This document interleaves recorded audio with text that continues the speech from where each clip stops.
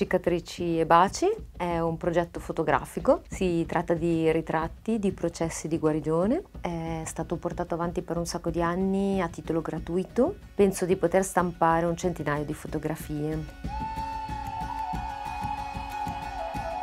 Con cicatrice baci c'è un dialogo con la persona e si crea proprio un momentum in cui vanno ad emergere delle parti di un'interiorità che non ha ancora trovato espressione e che vuole uscire, trovare il suo spazio in un ambiente che è quello artistico per cui è molto liberatorio, la libertà di esprimere una parte di sé che è stata coinvolta molto profondamente da un evento traumatico che però è passato, è stato trasformato, elaborato.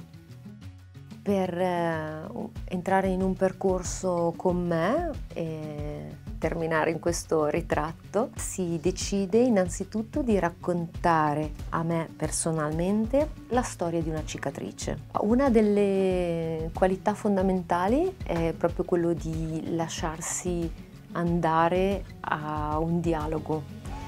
Per cui c'è una sorta di componente anche di curiosità e mettersi in gioco.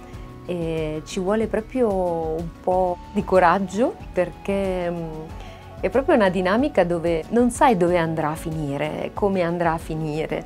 Premetto che io non cerco la cronaca di quello che è successo, ma qualcosa che vuole essere narrato, una storia che voglia essere narrata. Quindi raccolgo la storia e mm, poi in qualche modo si può dire che pesco dalla mia borsa di Mary Poppins quello che serve ed entrando in dialogo do dei compiti, chiamiamoli compiti, attività. Non c'è veramente una cosa standard perché è tutto basato sul dialogo e c'è quindi qualcosa che ognuno fa a distanza. La persona che esegue i suoi compiti io che continuo una strutturazione di un progetto proprio basato sulla persona. E poi ci troviamo per un photoshooting.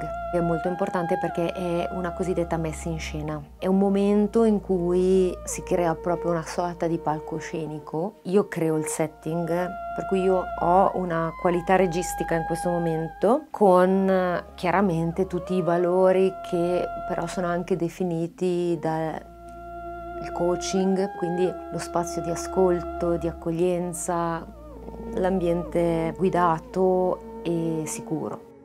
Dalle foto che scatto poi io traggo dei fotocollage. La reazione principale a un proprio ritratto, il fatto di vedersi attraverso gli occhi di qualcun altro, è sempre di sorpresa, interesse. Le foto non sono tendenti alla bellezza in sé, io sto rappresentando un territorio interiore, una forza, qualcosa che è legata proprio a una cicatrice specifica, a un processo di guarigione specifico, quindi quello è il contesto, non è il ritratto che deve essere bello. Però è molto interessante perché ridà anche proprio un'occasione di vedere qualcosa che non era stato visto. Questa è una cosa importante perché lo scopo è anche di ampliare la propria coscienza e quindi questo deve essere in primis l'effetto